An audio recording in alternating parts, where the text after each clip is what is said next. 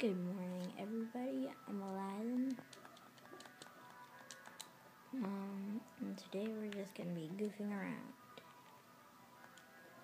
And yes, oh, I thought I had my hoverboard on, but it's not Aladdin. It's Taco, Mr. Taco Cat. One, two, three. How y'all doing? Yeah, that's me. Watch. Whoa, I jumped so high. I've never done that.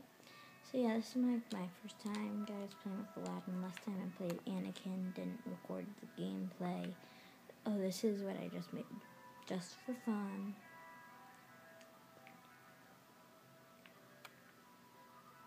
Hmm, and then, took me a long time to angle this correctly.